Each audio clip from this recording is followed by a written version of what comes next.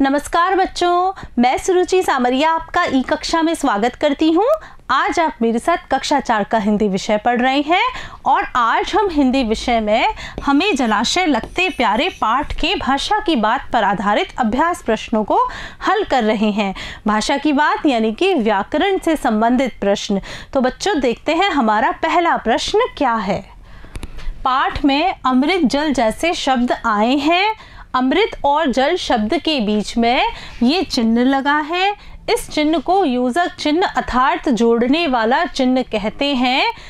पाठ में आए इस प्रकार के शब्दों को छांट कर लिखिए। बच्चों, जब आपने कविता पढ़ी होगी, तब आपने ध्यान दिया होगा कि आपकी कविता में कुछ ऐसे शब्द आए हैं जिनके बीच में यह योजक चिन्ह लगा हुआ है। यह योजक चिन्ह क्या करता है? यह योजक चिन्ह दो शब्दों को जोड़ने का काम करता है। तो बच्चों, आपको क्या करना है? आपकी इस कविता में ऐसे जितने भी शब्द आए हैं जिनके बीच में ये योजक चिन्ह लगा हुआ है, उनको छांट कर लिखने हैं। देखिए, मैंने छाटे हैं, बारे न्यारे, जिन्हें कि हम बारे और न्यारे भी कह सकते हैं। धर्म आस्था, धर्म और आस्था, कोई कुंड, कोई और कुंड, दीप जहाजी, दीप और जहाजी, द्वारे द्वारे। बच्चों, अब हम चलते हैं अगले प्रश्न की तरफ़, देखते हैं अगला प्रश्न क्या है। अपने परिवेश में उपलब्ध जल के स्रोतों की सूची बनाओ, उनकी स्वच्छता का ध्यान रखें, जल की बचत करें। बच्चों, यहाँ पर आपसे कहा जा रहा है कि आपके आसपास मिलने वाले जल के जो स्रोत हैं, उनका आपको नाम लिखना है। तो देखिए, राजस्थान में मुख्य जल स्रोत हैं कुएँ, तालाब पोखर, झील और नदियाँ। बच्चों, आपको इनकी स्वच्छता का ध्यान रखना है और जल की बचत करनी है। चलते हैं अगले प्रश्न की तरफ़, देखते हैं क्या है।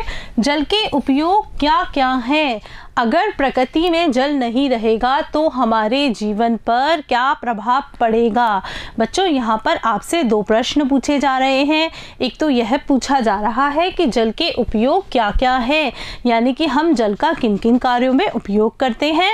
और दूसरा प्रश्न आपसे यह पूछा जा रहा है कि अगर हमारी प्रकृति में जल ही ना हो तो क्या प्रभाव पड़ेगा?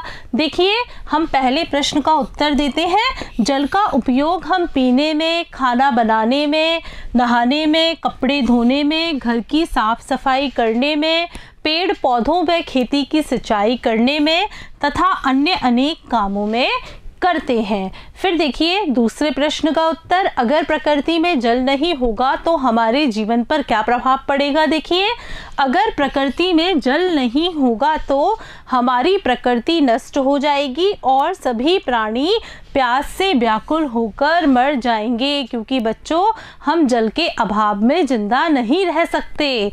आगे देखते हैं, अगला प्रश्न क्या है? जल संरक्षण के उपाय क्या क्या हो सकते हैं? अपने से, बड़ों से चर्चा कर कर लिखिए। बच्चों, जल संरक्षण यानी जल को ध्यान पूर्वक संरक्षित करना, इकट्ठा करना, यहाँ पर यह पूछा जा रहा है कि हम जल को किस प्रकार इकट्ठा कर सकते हैं, उसका संरक्षण कैसे कर सकते हैं। देखिए, जल संरक्षण के लिए निम्न उपाय किए जा सकते हैं। देखिए क्या क्या पहला, कुएँ बनाकर उन्हें स्वच्छ रखा जाए। वर्षा के जल को भूमि के अंदर जाने के लिए भूमि में गहरे टैंक बनवाए जाए। जल को बहने से रोकें और फालतू खर्च ना करें। बच्चों, हम ये उपाय अपनाकर जल का संरक्षण कर सकते हैं। बच्चों, आज आपने मेरे साथ आपकी पाठ्यपुस्तक आओ सीखें। भाग प्रथम के पाठ छः, हमें जलाशय लगते प्यारे के भाषा की बात पर आधारित अभ्यास प्रश्नों को हल किया। मुझे पूरा विश्वास है कि आपको इन सारे प्रश्नों के उत्तर बहुत ही अच्छे तरीके से समझ में आ गए होंगे। नमस्कार बच्चों।